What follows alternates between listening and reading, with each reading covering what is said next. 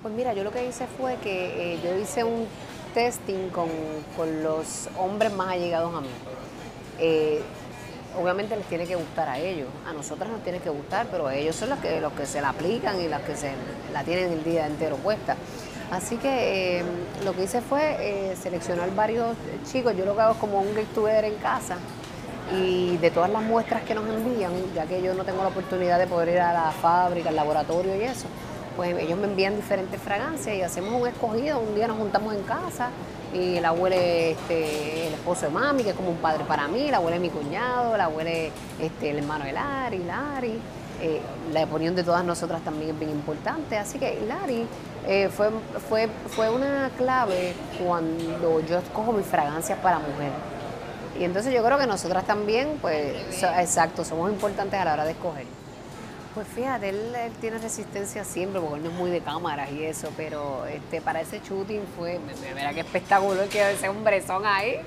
Eh, hubo su resistencia, pero él se de siempre y se lo disfruta también conmigo. Yo creo que también es una buena entrada para él.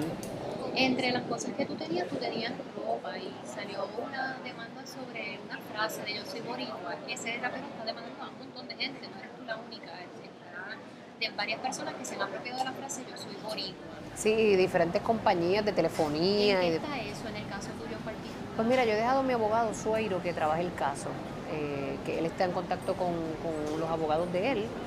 Eh, él me dijo que me estuviera tranquila, eh, es algo que se puede trabajar, yo creo que nos va a costar un poquito de dinero, pero era una frase que, la usamos tanto nosotros que yo jamás pensé que, que tenía derechos de autor cuando yo hice los emojis, hay una que es Tumba la casa mami, que es la de Sail.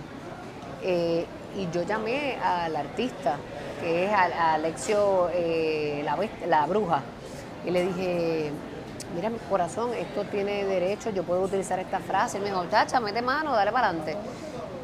Y lo hice con esa, pero jamás pensé que el, yo soy bórico para que tú lo sepas tenía derecho. Pero uno aprende en el camino, amada mía, así que... una frase bien común, sí. Sí, la usa todo el mundo en todas partes. Yo jamás pensé que tenía eh, derechos de autor. ¿Llegaste a retirar las cosas en lo que su hijo lo maneja? Sí, sí, todo está afuera.